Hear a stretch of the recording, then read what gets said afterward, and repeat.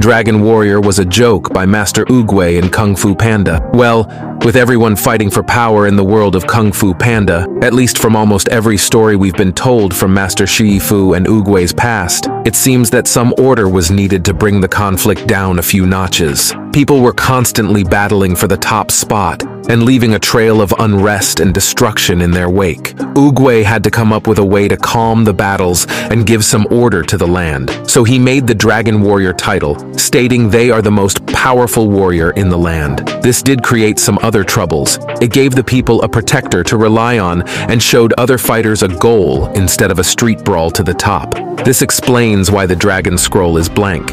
You give yourself the power, and there was never power to give.